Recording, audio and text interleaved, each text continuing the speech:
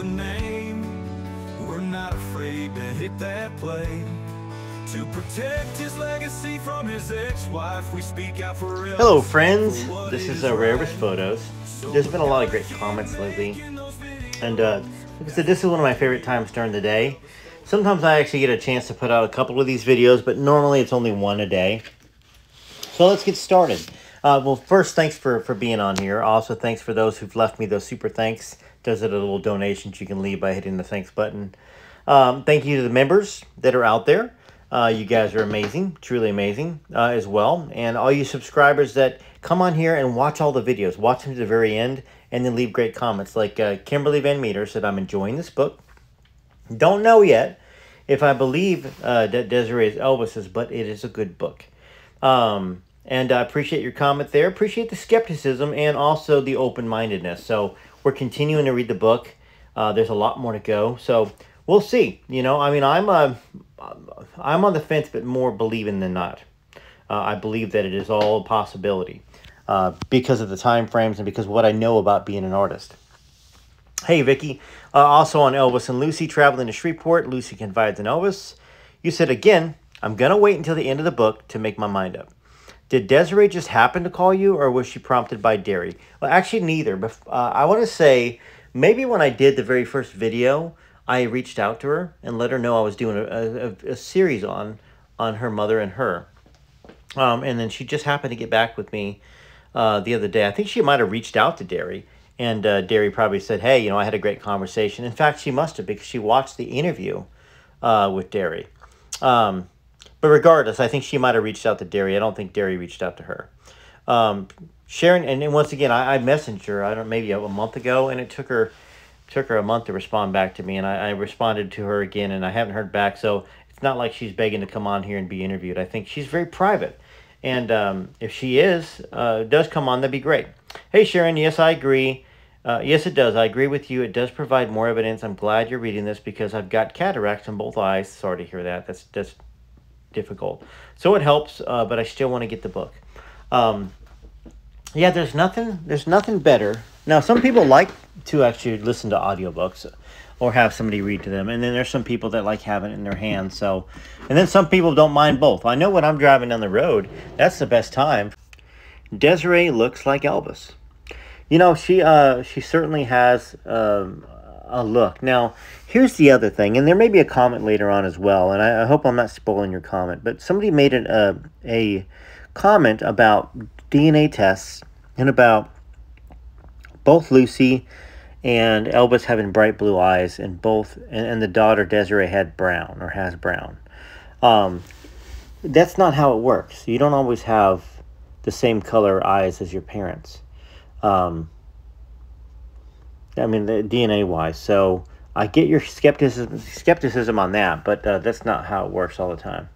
Uh, Sandra, Sandra Lynn, maybe Sandra L Y Brand, ninety four twenty five. Hey Joe, I'm enjoying your page so much and looking forward to what you you're going to read and your thoughts on things regarding Elvis. Uh, there's a nurse that lives on the property, that lived on the property, and took care of Elvis. Yes, there was. You're right. She has some great stories to tell. I really want to get her book. It's called Taking Care of Elvis by Tish Henley Kirk. She has more intimate stories of her time with Elvis and funny stories. She didn't let him get by with things, and he loved that about her. She worked for Dr. Nick and met him years earlier when Dr. Nick treated him for saddle sores at the ranch, and Elvis asked him to stop in and check on his mother Gladys. Now, the ranch was after Gladys passed, so I do know that Elvis rode horses prior to having this, the Circle G Ranch, so maybe that's what you're talking about. Uh, Gladys had heart problems, but Dr. Nick found out that she had pneumonia when he checked on her. When Elvis made his first visit to Dr. Nick's office, Tish had to ask basic questions before he'd see the doctor. He would look down at the floor when he spoke to her. She lifted his head and said, When you talk to me, look at me. Later that day, she was called into Dr. Nick's office and thought she was going to get fired. Instead, Dr. Nick asked her what she said to Elvis. Well, she told him and just knew that she was fired. Well, instead, Elvis was very impressed with her. She tells how sneaky Elvis was to get her to come to work for him years later after she kept telling him no. Well, she lived in the property and took care of him full time, and she has some comical stories of Elvis's humor. I think you'd get an interview with her because she did another one on an Elvis channel last year. Uh, the book is only $35 and you can order it from Tish herself. Send a money order to, and then she says the address there. Um, yeah, that's a, that sounds like a cool book. I, I, I've heard about that book. Um, and I will probably order it and read it because uh, that's another person that was around Elvis. Maybe a, a look into Elvis that perhaps not everybody has seen. That's kind of what we're doing with Elvis and Kathy, and potentially what we're doing with Are You Lonesome Tonight. So I appreciate that. That's a great comment uh, and some great information there.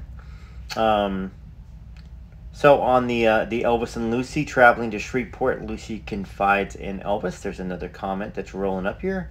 Hey, Marta. So, Marta Arroyo Herrero. Um, I have to hit the translate on, on Marta. I believe she's from South America or Spain or something. I do believe it. I believe that this lady is a mysterious woman that Elvis truly fell in love with, and that one that no one knew. Everyone knew their girlfriends, and obviously Prissy, not Lucy. Marta, it's good to see you on here. Um, you know, you you've left a lot of comments in the past. Kate says, please try very hard to get an interview with Desiree, smiley face. I will. I will. Um, and I'm going to show her your comments. So maybe that'll make her uh, want to come on the channel. Um, on the on the My Army Days with Elvis, one of my favorite books by Johnny Lang. More funny and sweet stories about Elvis. Uh, Flora Braswell says, Joe, has Lamar ever said anything about Lucy? Or Red and Sonny? Because she mentioned them, but they are past now. Now I don't know whether she mentioned him or not because once again I'm uh, I'm not to that point in the book. I heard Elvis say one day he came out as sergeant, then I heard him say corporal another time. I guess it was sergeant. Uh, Joe, you need to listen to Billy Stanley. Give his voice, give his voice about his stepbrother Elvis Presley. Uh, he also has a couple books out. Now I've got that, The Faith of Elvis, a story only a brother can tell by Billy Stanley, and uh, and I plan on reading that. Um, we can deduce what we feel is accurate and not. And of course, Billy has his own story. Billy has his own truth, like everybody has their, their own truths. Uh, don't know his channel name, but just put in Billy Stanley. Okay, so I think Billy gives insightful and interesting voices about Elvis. Thank you, Joe, and thank you for reading all the books. My eyesight's not the best, and I like your Elvis voice. Well, I appreciate that. Uh, you know, I, I love I love Elvis Presley just like y'all. Um, it's funny. I I, I can kind of do it a little bit better when I'm not reading somebody else's words. But uh, that being said, a little better doesn't mean Elvis. Elvis had a phenomenal voice, wonderful speaking voice. Um, so I can't wait for you to get back to them. Sometimes I wonder if Kathy would have been Elvis's pick. I know she wasn't the most beautiful of all women, but a pretty face isn't everything. Maybe Elvis found other things about her that that drew him in. He did. Elvis loved to share his faith, and he loved people's minds. Uh, so clo- listen closely to what Billy Stanley says at the very end of one of his interviews. So thank you for that comment. That's that is a wonderful comment, and um, I will. I think that um, there's a lot of um, a lot of ideas about Billy Stanley, David Stanley, Ricky Stanley, those three. Um, kind of, you know, they were there a lot from the time they were very little to some to the very end. Um, and there's a lot of uh, a lot of anger a, a, bit at one of the Stanley brothers. I mean, but anyways, let's go back to the EP uh, fan forever. What's going on on the Elvis and Lucy, the Donahue sh- Don, uh, Phil Donahue show? I'm leaning towards believing this. The things she said and didn't say to protect Elvis makes me believe her even more, because I know I would have done the same thing for my husband and or children. Uh, when you have that kind of love, you will sacrifice everything for your loved ones, for what you think is best for them. That's a great comment, and that is the truth. That is really a, a, real definition of love. Hey, Linda, I believe Lucy. It's good to know someone actually loved Elvis and not just the money. He was so lovable. I can't see how there wouldn't be more real love stories in his life. I've loved him since I was 12, and I'm going to be 80 this week. I will take that love to my grave. He is family to me. Wonderful comment there. Hey, Sandy, in my opinion, you say Priscilla is the worst thing that ever happened to Elvis. You know, I mean, I don't think that she improved his life. I just don't see it. I see that his movies got worse and worse when she came into his life, uh, as in moved to Memphis. Um, you know, he did have the comeback special, but that was more born out of. Not certainly wasn't Priscilla that did it.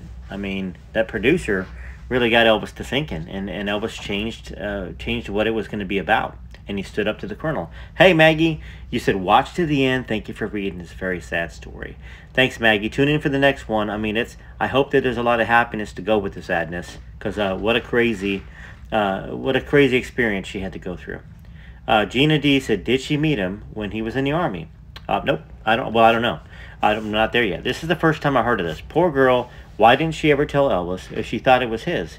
What a tragedy in life. I blame her parents for allowing this at her age to marry so young. Her dad died, and they burned the house down, and she was taken under by the grandma who didn't like her. So that's in the, that's in the first part of this book. Just click on Rare Elvis Photos, go to the playlist, and go to the Are You Lonesome Tonight and read from the beginning. Um, yeah, 11 years old, crazy. EP fan forever. Well, there goes the Elvis that said he drew the line with married women.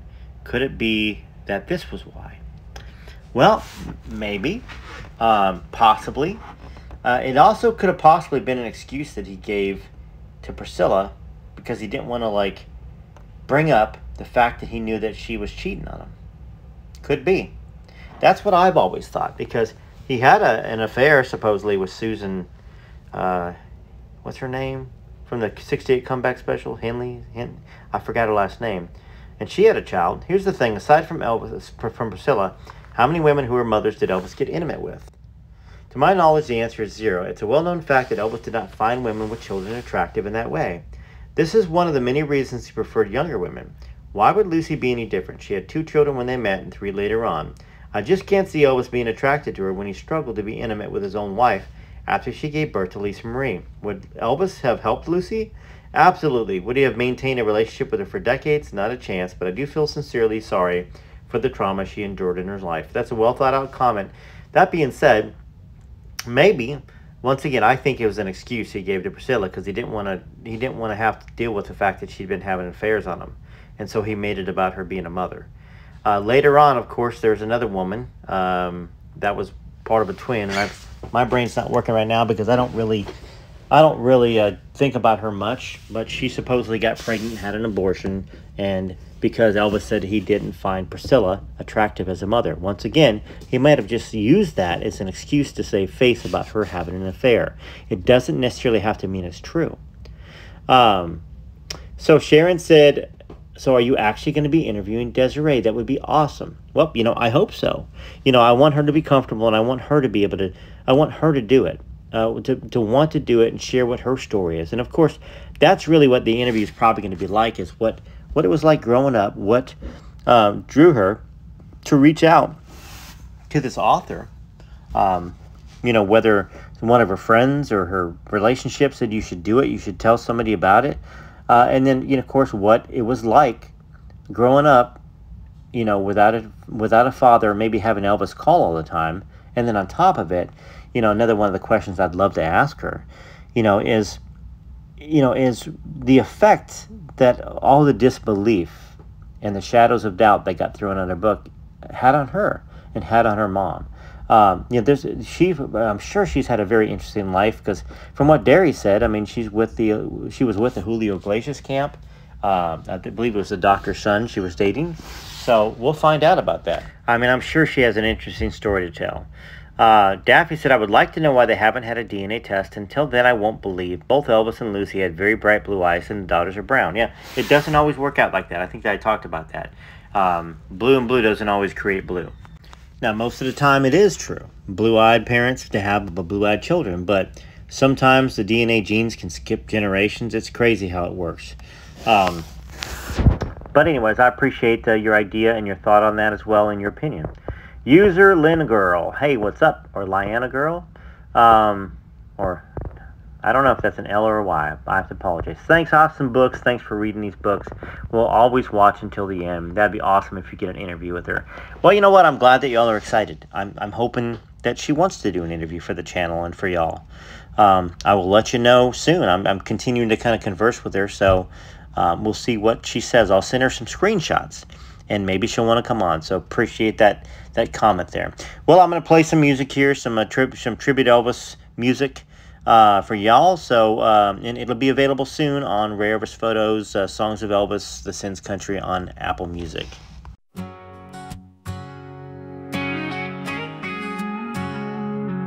He walked on stage with a smile, made our dreams come true for a while. Guitar in hand, moving wild, Every scream made him feel alive. Shook his hips, people would sigh. If I can dream, he touched the sky. Jailhouse rocking all night long to the rhythm of a rock and roll song. Elvis gave his life for his fans, sang his heart out right to the end. Every note he gave a piece of his soul, because rock and roll made him whole. Is where music ended and began. Elvis gave his life for his fans.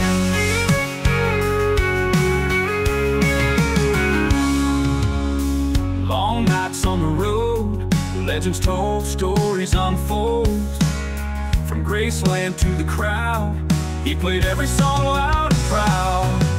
Elvis gave his life for heart out right till the end. Every note he gave a piece of his soul, because rock and roll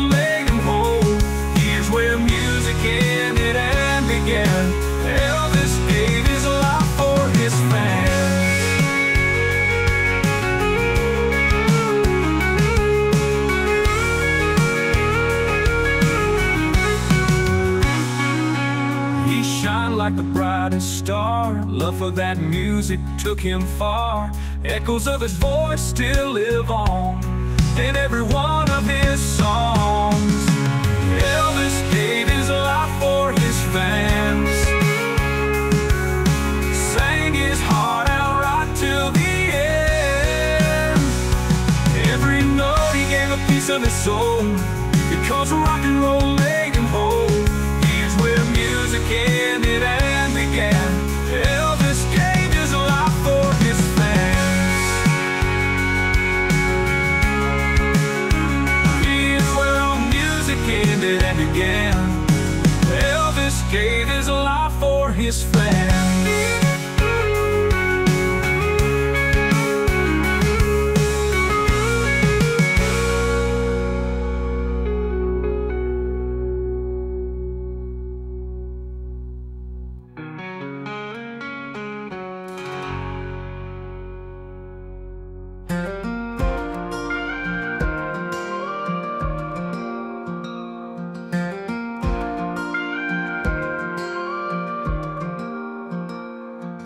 A blue suede dream tonight And feel the rhythm come alive.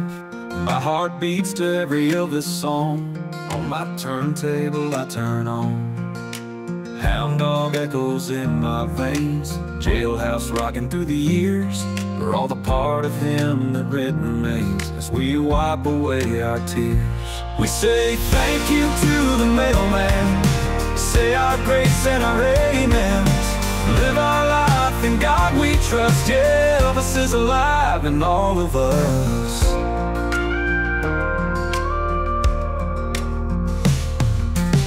Feel the tremor in the night. Guitar strings start to hum. And the stars up there so big and bright As Elvis starts to strum We say thank you to the mailman. Say our grace and our amens. Live our we trust Yeah, Elvis is alive in all of us.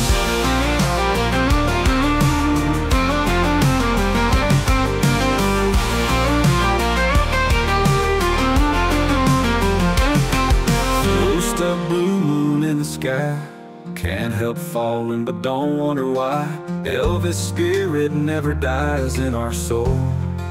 For all our lives we say thank you to the mailman Say our grace and our amens Live our life in God we trust Yeah, Elvis is alive in all of us Yeah, Elvis is alive in all of us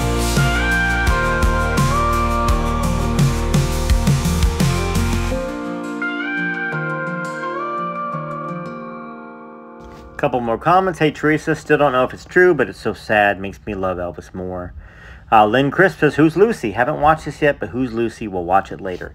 Uh, yeah, definitely watch it. Click on Rare Elvis Photos, click on the playlist, and you'll find the Are You Lonesome Tonight series that we're on. I believe we're on the fourth or fifth reading. Um, and we're going to be doing it more later on today, I think, because it's a great story that we got to get to. TCB, TLC, this is Rare Elvis Photos.